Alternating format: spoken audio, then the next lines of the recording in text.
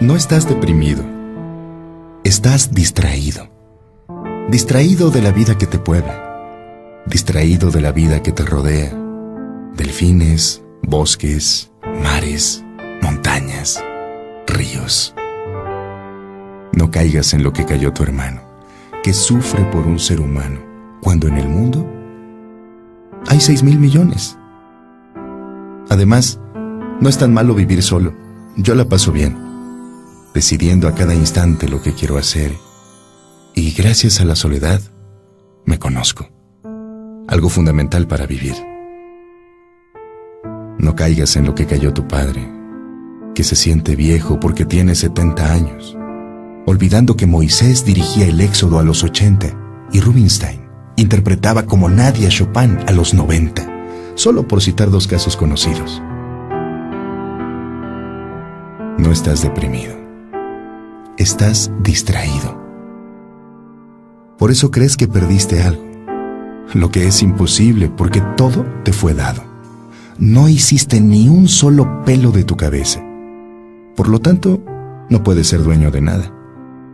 Además, la vida no te quita cosas. La vida te libera de cosas. Te aliviana para que vueles más alto, para que alcances la plenitud. De la cuna a la tumba es una escuela. Por eso, lo que llamas problemas son lecciones.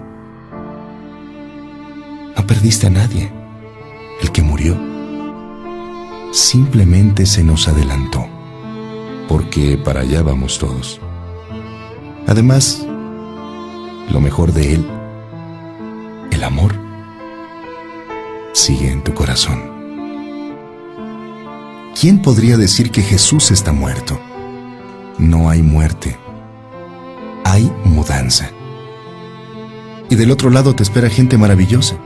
Gandhi, Miguel Ángel, Whitman, San Agustín, la Madre Teresa, tu abuela y mi madre, que creía que la pobreza está más cerca del amor porque el dinero nos distrae con demasiadas cosas y nos aleja porque nos hace desconfiados. Haz solo lo que amas y serás feliz. El que hace lo que ama está benditamente condenado al éxito, que llegará cuando deba llegar, porque lo que debe ser será y llegará naturalmente.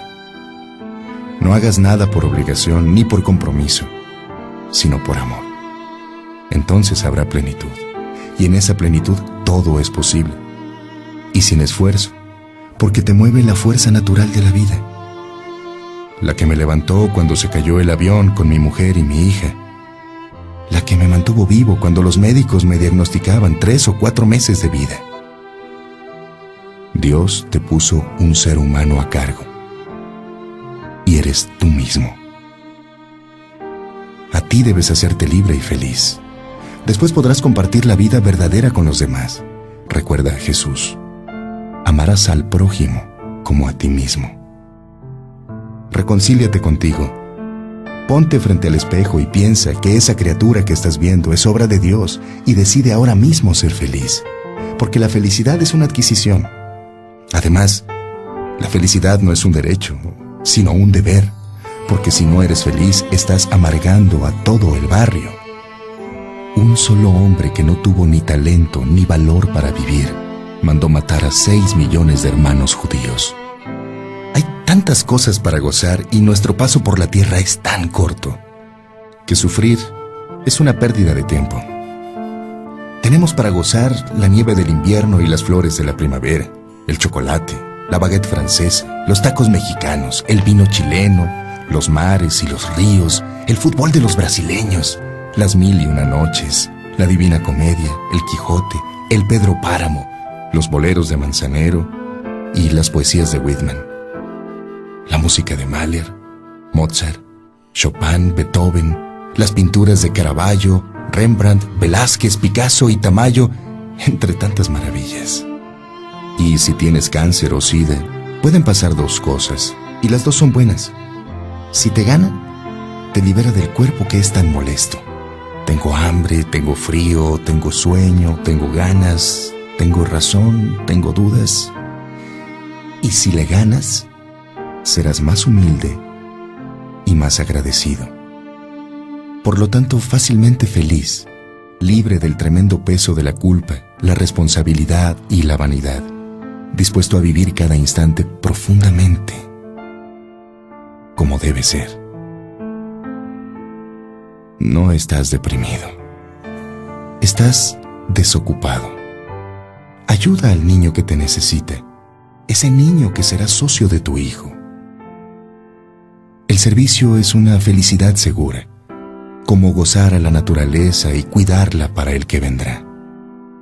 Da sin medida, y te darán sin medida. Ama hasta convertirte en lo amado, más aún, hasta convertirte en el mismísimo amor. Y que no te confundan unos pocos homicidas y suicidas. El bien es mayoría, pero no se nota porque es silencioso una bomba hace más ruido que una caricia. Pero por cada bomba que destruye, hay millones de caricias que alimentan a la vida. Vale la pena, ¿verdad? Si Dios tuviera un refrigerador, tendría tu foto pegada en él. Si tuviera una cartera, tu foto estaría dentro de ella. Él te manda flores cada primavera. Él te manda un amanecer cada mañana. Cada vez que tú quieres hablar, Él te escucha. Él puede vivir en cualquier parte del universo, pero Él escogió tu corazón. Enfréntalo, amigo. Él está loco por ti. Dios no te prometió días sin dolor, risa sin tristeza, sol sin lluvia, pero Él sí prometió fuerzas para cada día, consuelo para las lágrimas y luz para el camino. Cuando la vida te presente mil razones para llorar, demuéstrale que tienes mil y una razones por las cuales sonreír. No, no estás deprimido.